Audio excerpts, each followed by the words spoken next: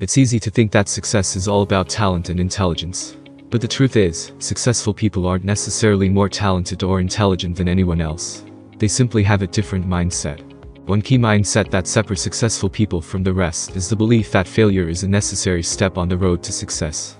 In fact, successful people often embrace failure as a learning opportunity and a chance to grow. This isn't to say that successful people don't feel fear or doubts. They certainly do. But they don't let those negative emotions hold them back. Instead, they push through them and take action despite their fears.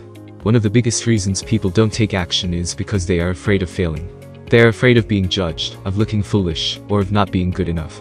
But the reality is that everyone fails at some point. It's an inevitable part of the learning process. Successful people understand that the only true failure is not trying at all.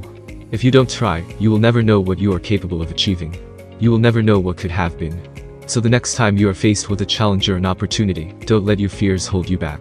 Remember that the only real failure is not trying. Take the chance, even if you are unsure of the outcome. You might surprise yourself with what you are capable of achieving.